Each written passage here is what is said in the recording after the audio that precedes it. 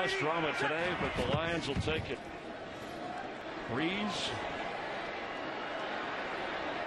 End zone throw. And it's the third interception by the Lion defense today. Miles Killebrew, one of those rookies. Guaranteed money. Incomplete and intercepted.